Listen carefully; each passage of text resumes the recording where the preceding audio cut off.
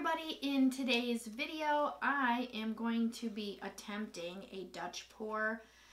I have tried to use my blow dryer in the past and it has not gone very well. So I actually watched one of Canella's videos um, where she goes through the um, different blow dryers and paint consistencies. So I'm hoping that thinning my paints has worked. So I'm just going to go ahead and find out. Okay guys, so I'm just going to start off with the colors that I'm using today. And the first one that I've got is from Soho and it is gold. The second one is from Liquitex Basics and it is Prism Violet. And then I've got another one from Soho and that is Prussian Blue.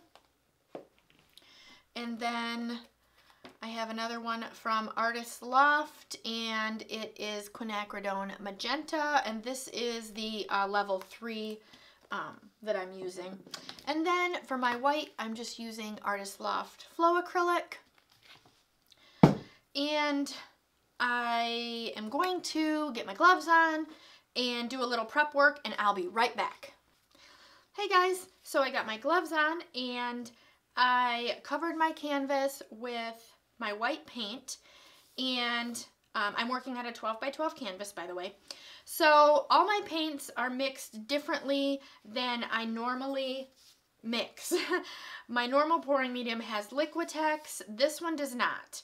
Um, I watched a couple videos um, from Canella and from Tammy Anderson and um, I kind of followed their mix which was Floetrol and water only.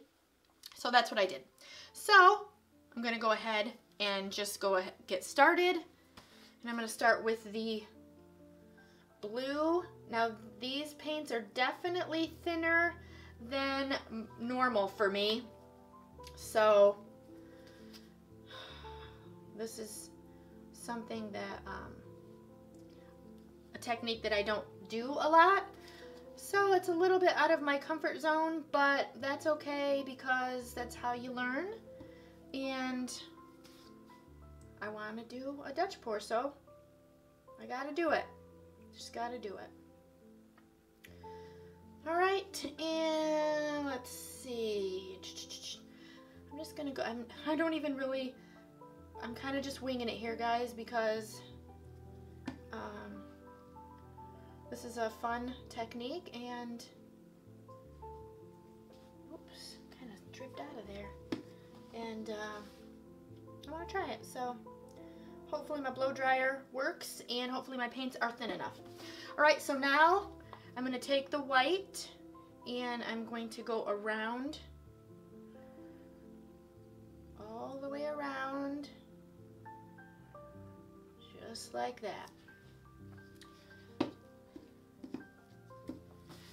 Okay, all right. Oh, can't do that yet. Okay, now I've got a plastic um, stir stick and just kind of go where the white paint is and kind of try to lift it, oh, lift it over the top. There we go. There we go.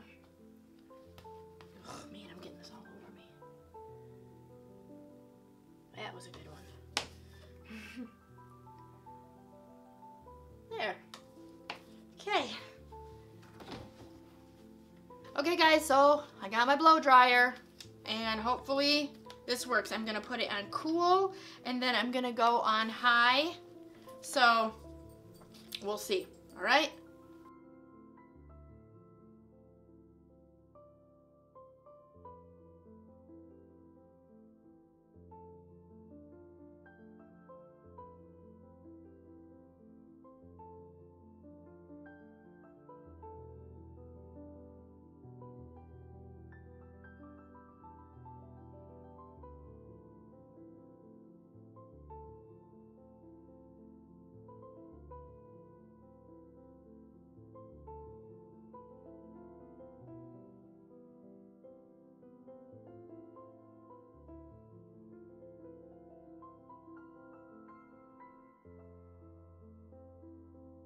Okay guys, so I do like this painting, but it is not exactly what I was hoping for. It's got some cool detail, um, but I'm going to go ahead and give it another try. My white seemed a little resistant, so I've thinned it out a little bit more, and I'm going to use the same colors, and I'm just going to go ahead and give it another go. And I'm going to maybe put more more paint. Maybe that's what, I don't know. I don't know what the deal is, but maybe I have to go back and watch um, Canella and Tammy some more because um, they do really, really good ones. I will put um, links in my description to their channels. You can check them guys out.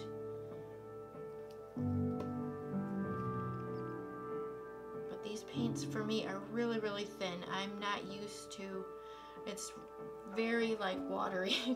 so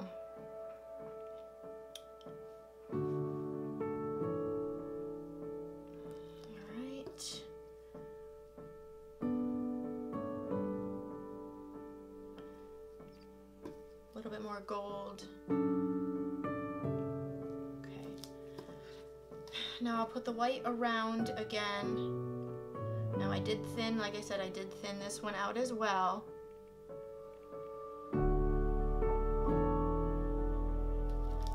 It just seems like a lot of paint on the canvas for me. All right, so just take my stick,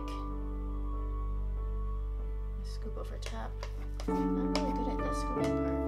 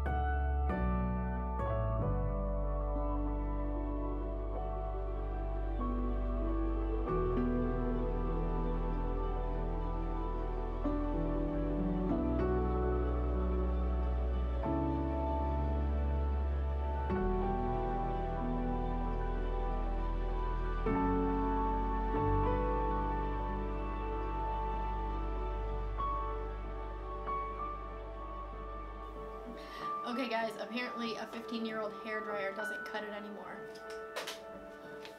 Now I got a new one and I'm gonna give this one a try. Hopefully third time's the charm. Okay guys, so again, canvas is covered with the white paint. It's super thin. Um, new blow dryer. So I'm gonna give it a go.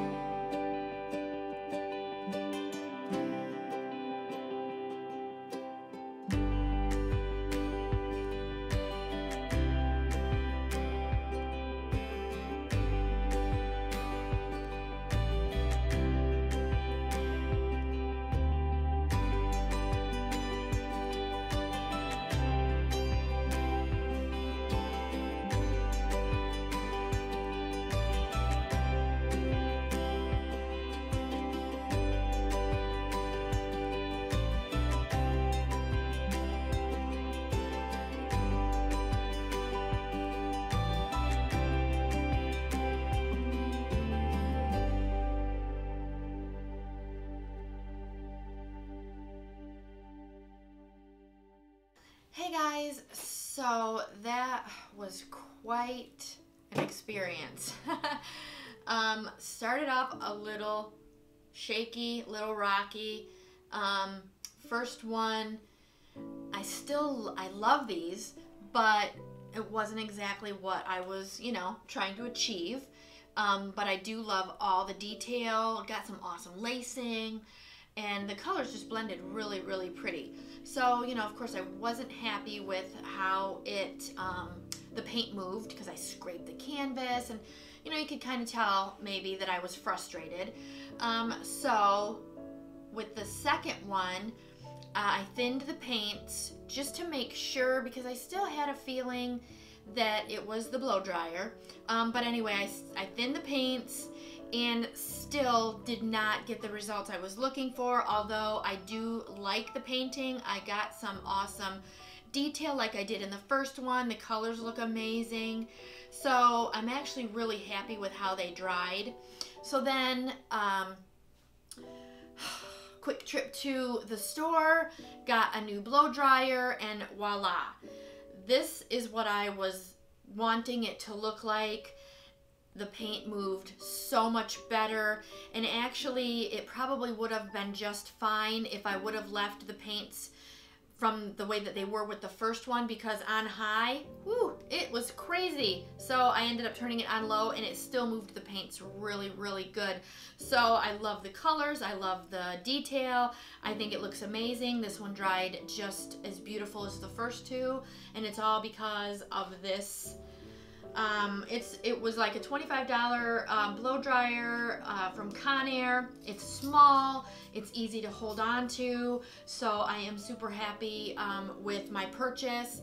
And as you can see, these really did turn out really good.